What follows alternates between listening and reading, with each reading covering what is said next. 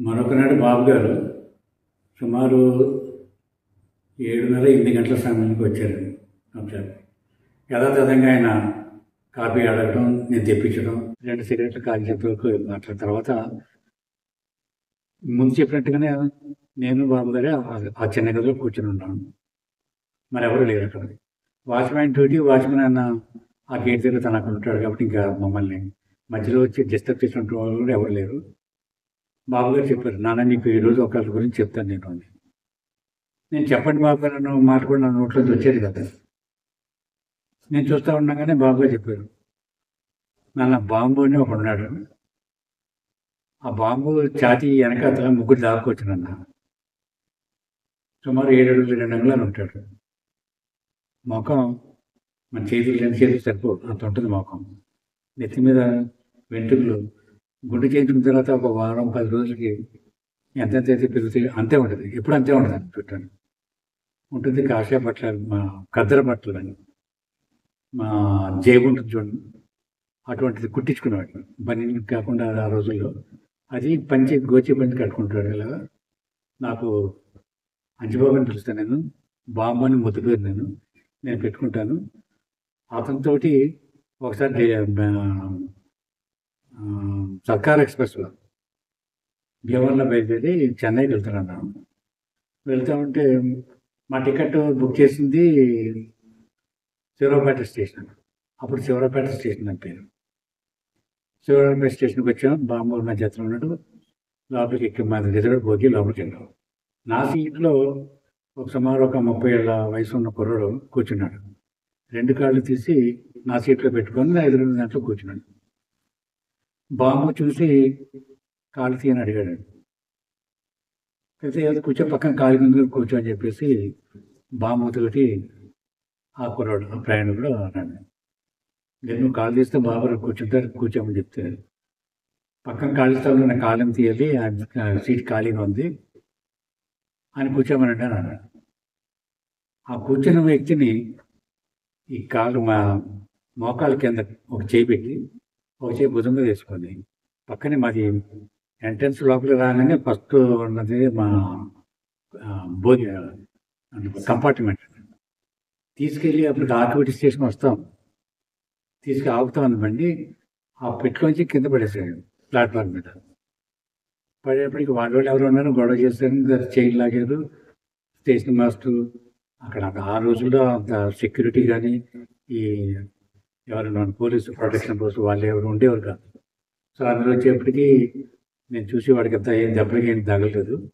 నేను దగ్గరికి వెళ్ళి బామ్మని సముదాయించి కూర్చోబెట్టి వాడికి కింద దిగి ఇంకా వాడిని కొట్టడానికి వెళ్ళిపోతున్నాడు బామ్మని పక్కన పిలిచి కూర్చోబెట్టి వాళ్ళందరూ సమాధానించి పంపించేసి ఏమవుతుందో చెప్పేసి లేచి పంపించేస్తే వాడికి తగిలిన దెబ్బలు దానికి వాడు త- ప్రయాణం చేయలేదు. వాడు సూట్ కేసు అయితే తీసుకుని దిగి దిగిపోయాడు. వెళ్ళిపోయాడు. వెళ్ళిపోయిన తర్వాత మా ప్రయాణం చేస్తే మరణించాం బాబుని. కాలు పెట్టి అడిగినా కూడా తీపోవటం తప్పండి అది. నేను మీరు క్షమిస్తారని నేను క్షమించని చెప్పేసి బాబు నాకు చెప్పిన సమాధానం. సరే అతనికి మళ్ళీ ఒక ఐదారు నిమిషాలు అయితే కానీ మన మామూలు స్థితికి రాలేదు తను. ఆ తర్వాత ఆ రోజు రాత్రి గడిచిపోయింది. మరుసటి రోజు పొద్దున్న ఆరున్నర ఏడు గంటలు చెన్నై స్టేషన్లో ఎగ్- ఎగ్మూరు ఎగ్మూరు సెంట్రల్ స్టేషన్ దిగాం. స్టేషన్ నుంచి బయటకు వచ్చేటప్పటికి ట్యాక్సీ వాళ్ళ స్టాండ్లో చాలా స్టాండ్ ట్యాక్సీ స్టాండ్ నిలబడి ఉన్నాయి కానీ నేను వెళ్ళి మాట పలానా చోట కావాలి డ్రైవర్ డ్రైవర్లు నాకు ఎదురు వచ్చి అడిగారు. అడుగుతూ నేను మాట్లాడుతున్నాను. మాట్లాడుతున్న బాంబుని చూసి ఐదారు మందిలో ఒకడు రాక్షసుడు లాభం తమిళ్ళో. రాక్షసులు ఎవరైనా యాక్సిడెంట్ అవడం ఏంటో అని చెప్పేసి వాళ్ళు తూచినట్టు మాట్లాడి నవ్వుకోవాల్సిన ఏకాదిగా చూడటం మొదలుపెట్టాడు వాళ్ళ కర్మ బాంబుకి తమిళ వస్తున్న సంగతి వాళ్ళకి తెలియదు. అది చూసి బాంబుకి అసలే కోపంగా ఉంటే రాత్రి కోపంతో పడుతున్నాడు ఆ కోపం పూర్తి తగ్గలేదేమో నాకు తెలియదు ఆ ఎవడైతే అన్నాడో వాడిని రెండు చేతులతో పైకెత్తి సుమారు తొమ్మిది అడుగులు ఎత్తు పైకెత్తి ఇసిరేసేటప్పటికి మూడు ట్యాక్సీలు అవసరం పడ్డాడు పడేటప్పటికి ఈ చుట్టుపక్కల ఎవరైతే అందరూ పారిపోయారు అక్కడి నుంచి. మరి నాకు ట్యాక్సీ తవ్వడం కష్టమైంది. ఆ తర్వాత కొంచెం ముందుకెళ్ళిన తర్వాత వెళ్ళామని చెప్పి బాబు గారు ఈ విషయం నాకు చెప్పినప్పటికీ నేను ఆశ్చర్యపోవడం అనేది ఎందుకంటే ఒక మనిషి వెనకాతల ముగ్గురు మనుషులు దా దాక్కుంటే కనిపించరు. చెప్పినప్పటికీ అది ఎంతవరకు ఏంటి ఇంత మనిషి ఇలా ఉంటే సరే అలాంటప్పుడు ఈ- అప్పుడు అప్పుడు నేను గిన్నీస్ బుక్లో చూడటం అప్పుడు నాకు అలవాటు ఉండేదండి. ఇలాంటి వాళ్ళు గిన్నీస్ బుక్లోకి వెళ్ళొచ్చు కదని చెప్పి నాకు తాట థాట్ అనిపించింది కానీ బాబు గారు నిజమండి ఇంతలా ఉంటారండి అని ఆయన ప్రశ్నించడం అలాంటి ఏమి ఉండేది కదా. చూశాను విన్నాను అంతే అంతవరకు అండి. బాబు గారు నాకు చెప్పడం చెప్పేశారు ఇది అయిపోయిందండి. ఇది అయిపోయిన తర్వాత బాబు గారు మళ్ళీ ఒక రెండు మూడు సిగరెట్లు కాల్చుకొని కాసేపు కూర్చున్న తర్వాత సుమారు ఒక నలభై నిమిషాలు గంట కూర్చున్న తర్వాత వారు వెళ్ళిపోవడం అయిపోయింది. ఈ చెప్పినంత కూడా కొన్ని నిమ్మిగా చెప్తూ చూస్తూ మాట్లాడుతూ ఉండేవారు. మధ్యలో కాఫీ తాగడం సిగరెట్ కాల్చడం అని జరిగేది తర్వాత బాబు గారు వెళ్ళిపోయిన తర్వాత బయటికి వెళ్ళేవారు. గేట్ దాటిన తర్వాత ఒక కారు వచ్చేది కాదండి. లేదా ఎవరైనా తీసుకొని రిసీవ్ చేసుకున్నప్పుడు ఉండేవారు కాదు. ఆయన ముందుకు వెళ్ళిన తర్వాత నాకు కనిపించేవాడు కాదు. సరే ఏనాడు నేను ఆశ్చర్యపోవడం ఇలాగే ఏమైపోయారు అని చెప్పేసి పరిగెత్తి చూడటం కానీ అవి నాకు అలవాటు ఉండేది కదా నాకు అసలు. వచ్చారా వచ్చారు. వచ్చారంత మాట్లాడారు వెళ్ళిపోయారు అనుకునేవాడిని. ఈ జరిగిన సుమారు ఒక మూడు నాలుగు నెలల తర్వాత మధ్యలో ఒకటి రెండు సార్లు వచ్చారు. పగల టైంలో అందరూ ఉన్నప్పుడు వచ్చినప్పుడు యథాతథంగా అందరూ పెద్దవాళ్ళు రావడం వాళ్ళు కూర్చోవడం తివాసీలు కార్పెట్లు పరచడం వాళ్ళందరూ కూర్చున్నప్పుడు ఆయన బావగారు ఎవరిని ఇదేంటని అడిగే ధైర్యం ఎవరు చేసేవారు కాదండి. ఆయనే చెప్పుకుంటూ వెళ్ళిపోయేవారు. అందులో ఎవరు చెప్తే ఎవరో ఒక వ్యక్తి గురించి మాట్లాడుతూ వాళ్ళ తాతగారి గురించి చెప్పేవాడు ముందు మీ తాతగారు పలానా అయినా పలానా ఇది ఈ పని చేసేవారు కదా మీ బాబాయ్లు ఎలా ఉండేవారు మీ నాన్నగారు. తర్వాత అలా చెప్పుకుంటే వారు చెప్పేవారు కానీ పర్టికులర్గా ఒక మనిషి ఎవరిని అడగటం అని చేయటం కానీ ఉండేవి కదా. వాళ్ళు చేసిన వృత్తి గురించి ఆ వృత్తిలో ఉండే కీలక విషయాలు అనర్గంగా చెప్పేవారు. సబ్జెక్టులు చెప్పుకుంటూ మన స- ఇంజనీరింగ్ కానీ లేకపోతే మెడిసిన్ గురించి కానీ ఏ విషయాన్ని మనం అలాగా కనెక్షన్తో చెప్పుకుంటూ వ్యక్తుల పేర్లు ఉదాహరణగా చెప్తూ చెప్పేవారు కానీ పర్టికులర్గా నీ గురించి ఎలా చెప్తున్నాను అలాంటి విషయాలు ఎప్పుడు ఏనాడు నేను చెప్పేవారు కాదు. వినే అంటే ఆ చుట్టుపక్కల నేను వెళ్ళేవాడిని కదా మెయిన్ పాయింట్.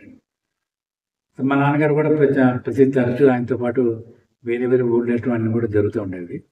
అవన్నీ ఒక కథ అయితే ఈయన మాత్రం నాతో ఆయన నేను చూసేది మాత్రం నేను ఒంటరిగా ఉన్నప్పుడు ఆయన ఆయనతో వంటికి ఆయన వస్తూ ఉండేవారు. కానీ అప్పుడు కూడా నాకు తెలిసేది కాదు. ఎవరైనప్పుడు ఎంతమంది ఉన్నప్పుడు వచ్చేవారు కదా. ఈయన రాత్రి ఒక నేను ఒంటరిగా ఉన్నప్పుడు ఎందుకు వస్తున్నారు? అన్న ఆలోచన కూడా నాకు మూరుకున్నా నాకు తెలిసేది కాదు.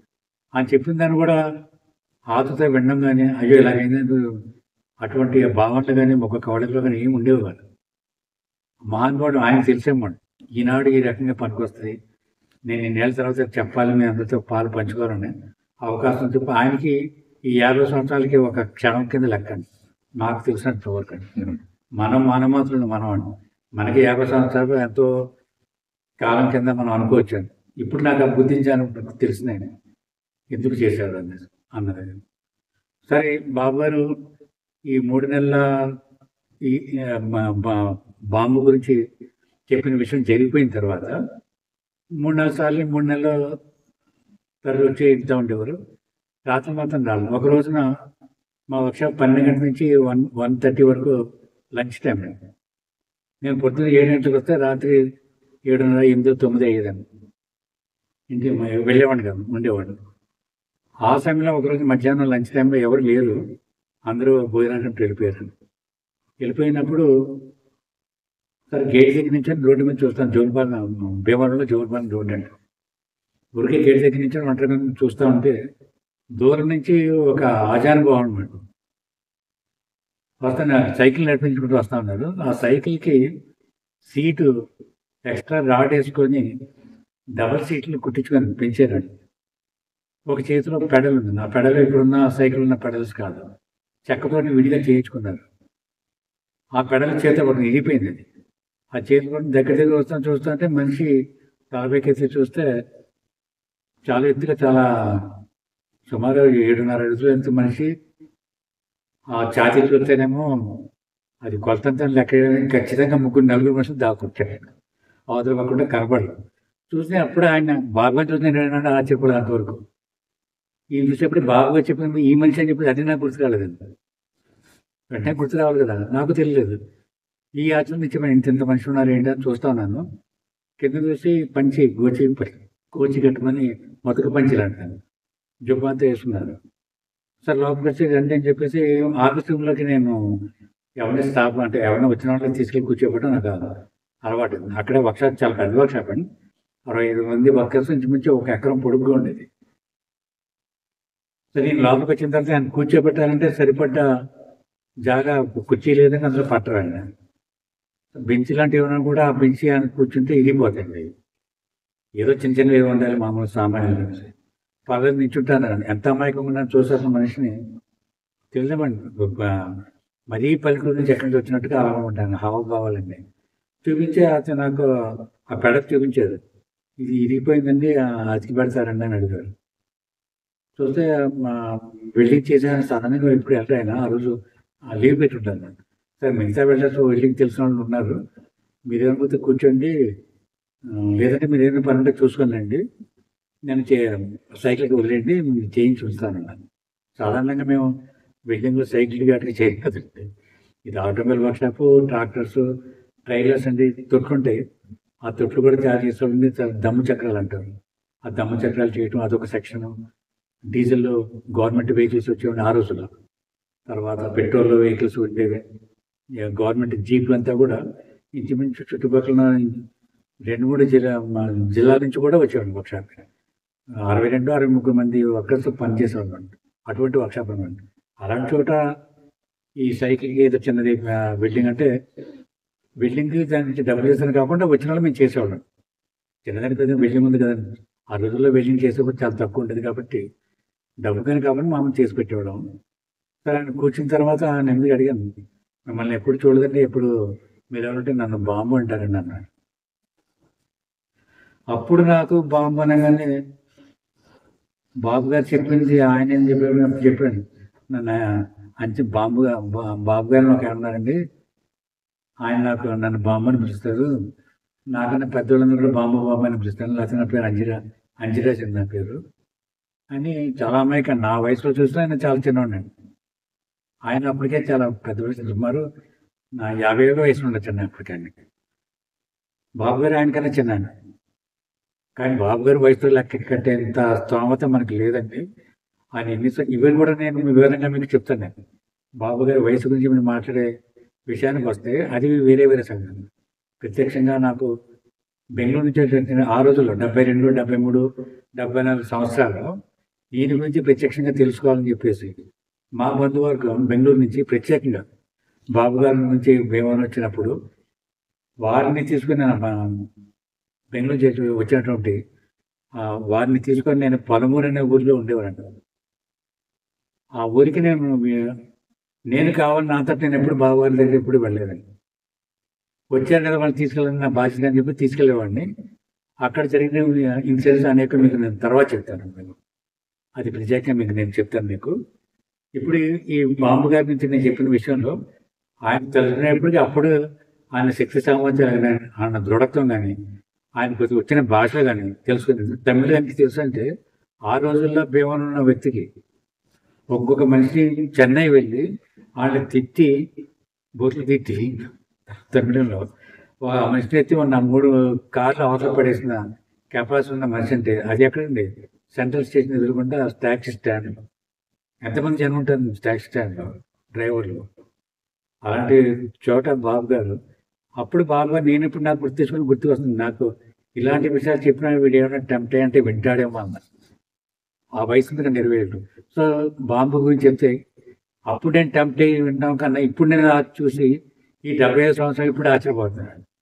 ఆ బాంబు గారి గురించి వింటాం. నాకు అది ఆశ్చర్యం ఉందండి అలాంటి విషయాలు నాకు బాబు గారు చెప్పారు కదా అనేసి. సో ఈ ఈ విషయం బాంబు గారి విషయం ఇంతటితో ఆఫ్ చేస్తాను. మిగతాది మళ్ళీ నెక్స్ట్